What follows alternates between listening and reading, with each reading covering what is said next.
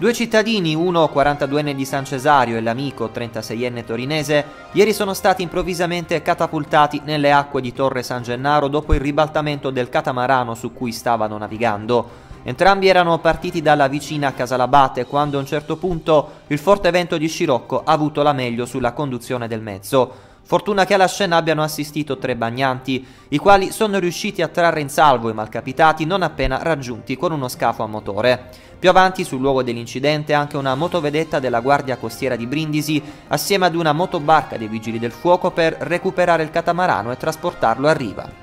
La cornice era quella di Palazzo Baronale a Monteroni di Lecce, la sala gremita in ogni ordine di posto, l'occasione della manifestazione e la presentazione dei risultati del corso di formazione professionale in operatore dei servizi di ristorazione. Alla presenza del sindaco Lino Guido e dell'assessore alla formazione professionale Donatella Gerardi sono stati illustrati i risultati ottenuti dagli allievi che hanno svolto il percorso professionale. Faccio i miei più sentiti auguri di successo professionale e affermazione nella vita a voi ragazzi che avete frequentato il corso, ha affermato il primo cittadino Lino Guido nel corso del suo intervento. Mi auguro che la prossima volta che ci vedremo mi farete assaggiare le gustose pietanze preparate con le vostre mani, ha poi concluso. Gli ha fatto eco l'assessore alla formazione professionale Donatella Gerardi. Quello a cui l'ente di formazione del comune di Monterogna ha dato vita è stato un percorso formativo molto importante. Sono certa che grazie a questo corso sarete in grado di poter mettere in mostra le competenze acquisite e trovare quanto prima uno sbocco professionale.